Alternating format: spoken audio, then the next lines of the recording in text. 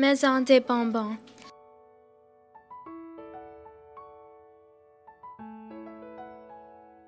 Il était une fois deux filles sont nées. Elles ont rencontré à l'école maternelle et elles sont devenues les meilleures amies. Il y avait une fille qui s'appelait Sakura et sa amie était Nam Sangyo. Quinze ans plus tard, un jour, Sangyo et Sakura sont montés une colline pour cueillir des fraises.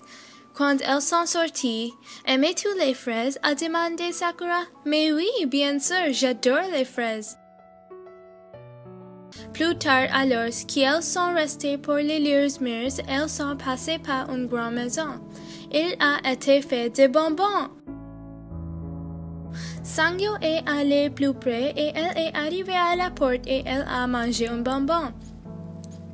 Sangyo, on ne mange pas la maison de quelqu'un d'autre, crie Sakura crie. Mais une sorcière est sortie de la porte et elle est venue plus près. Elle a dit Bienvenue entrez à l'intérieur. On envoie les fils de loin qui il crie N'y allez pas Mais trop en retard. Les fils sont entrés. Je vais vous donner bonbon beaucoup. Descendez l'escalier avec moi. Les fils et la sorcière sont descendus l'escalier. Les filles sont entrées là sous-sous, mais elles ont vu quelque chose de bizarre. Il y avait deux garçons dans son cage. Regardez, ils sont captifs.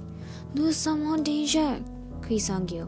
Et les filles sont retournées, mais la sorcière a poussé les filles dans la cage, aussi avec les garçons. Qui faites-vous ici? a demandé Sakura. Nous avons voulu le bonbon, mais la sorcière est morte, a dit un garçon. Plus tard, la sorcière avait faim, alors elle a couru pour préparer de la soupe pour en manger. Mais elle a oublié ses clés. Regardez, il y a les clés de cette cage, a dit un garçon. Oui, a crié Sangyo. Ils ont parti. Ils ont poussé la sorcière et elle est tombée. La sorcière est montée. Génial! Puis, ils sont revenus à la maison bien.